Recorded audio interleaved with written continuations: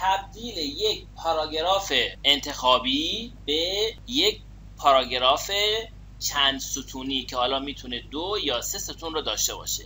برای انجام این کار ابتدا پاراگراف مورد نظر رو انتخاب می‌کنیم. در نوار ribbon بر روی سربرگ layout کلیک می‌کنیم. columns.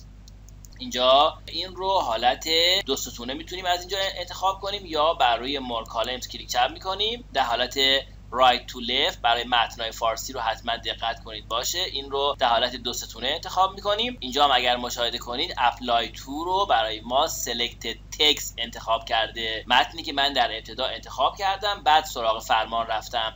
اینجا بر روی OK کلیک می‌کنم. اگر بخوایم این متن ما دو ستون از نظر وسعت متفاوت داشته باشه من اینجا میام. یک و 27 spacing رو اینجا براش 3 و 27 می‌کنم. اینجا اگر مشاهده کنین پهنای ستون دوم اینجا تغییر کرد بر روی OK اینجا کلیک می‌کنم. اینجا تونستیم این پاراگراف رو تبدیل به یک متن دو ستونی کنیم که اینجا یه همچین spacing ی رو اینجا داشته باشه. در حالتی که این متن پاراگراف انتخاب هست می‌تونیم در نوار ribbon سربرگ layout گروه page setup روی column کلیک کنیم more column و اینجا تیک equal رو بزنیم. spacing رو من اینجا مثلا می‌تونم دو یا حتی می‌تونیم یک براش معرفی کنیم. اینجا اگر مشاهده کنین گزینه line between رو انتخاب کنیم. یه خطی هم بینش قرار بگیره. باز هم دقت کنید apply to selected text بر روی OK اینجا کلیک می‌کنم. ببینید یه همچین حالتی رو اومد ایجاد کرد.